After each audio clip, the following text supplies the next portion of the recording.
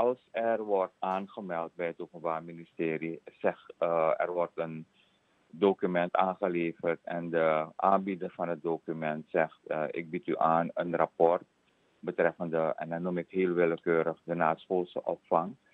En dan, uh, als je dan ook leest wat er allemaal wordt aangeboden, flinterdun materiaal. En vervolgens klim je in de pen als vervolging en je zegt aan de bewindspersoon, uit de media is gebleken dat er nog meer andere brondocumenten aanwezig zijn. Dat er eerder ook nog uh, financiële onderzoeksrapporten zijn geproduceerd. Weliswaar onder verantwoordelijkheid van andere collega-ministers of minister. Uh, graag dat wij, dat wij u vragen daarin te leiden om ook dit materiaal beschikbaar te krijgen. Maar dat duurt het heel lang voordat je het krijgt. En voordat je het krijgt, moet je dan weer een studie van gaan maken van is dit wel het materiaal waar er in de media over wordt gerept. Want uh, het is bij de overheid uh, zo en bij parastatalen dat wij onze kladorganisatie als eerste zeg, uh, bureau of dienst hebben die onderzoek doet inhoudelijk naar wat ongebruikelijk is geweest in de bedrijfsvoering met betrekking tot financiële middel, uitgaven van financiële middelen. En die verslaggeving is niet altijd heel ruim opgezet, voor zover je het krijgt. En we, we weten inmiddels hoe het komt. Daar zijn we ook niet heel erg uh, gelukkig mee, omdat de klad ons informeert dat zij volgens een bepaalde standaard hun onderzoeken doen.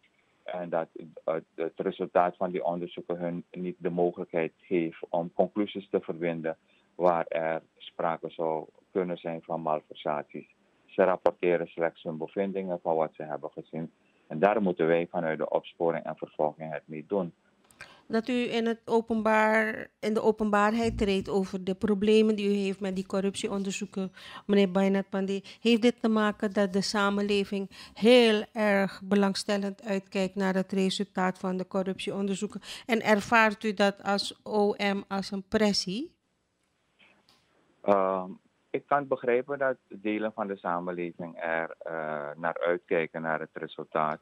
Maar dat is niet het motief om daarover iets te zeggen. Het motief is om in feite uh, aan te melden of een melding van te doen dat er traagheid wordt geconstateerd. En dat die traagheid gelegen is in meerdere oorzaken. Niet alleen het, de trage verstrekking en verkrijging van documentatie, maar ik noemde u al uh, de, de, geringe capaciteit die we erop, de menselijke capaciteit die we erop kunnen zetten om onderzoek te doen.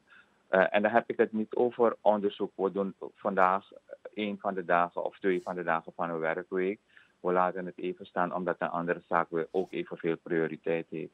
Het is een duurzame voortgang uh, dat menskracht dient te leveren in het verder uitrechercheren. En dat zijn gebrekkige omstandigheden bij het werken. En de kritiek dus dat het OM niks doet aan corruptieonderzoek? Nou, uh, kritiek moet er altijd zijn en mag er ook altijd zijn. Het is alleen maar als het juiste kritiek is. En er zijn mensen die het vermoeden hebben dat men niet wil of niet durft bij het OM, bevreesd is bij het OM om deze corruptiezaken te onderzoeken?